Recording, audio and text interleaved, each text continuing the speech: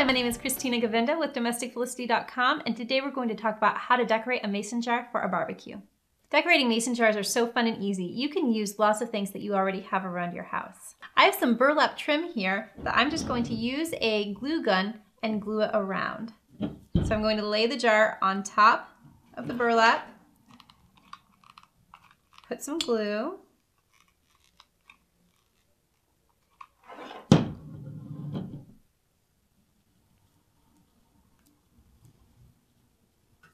and then glue the top down.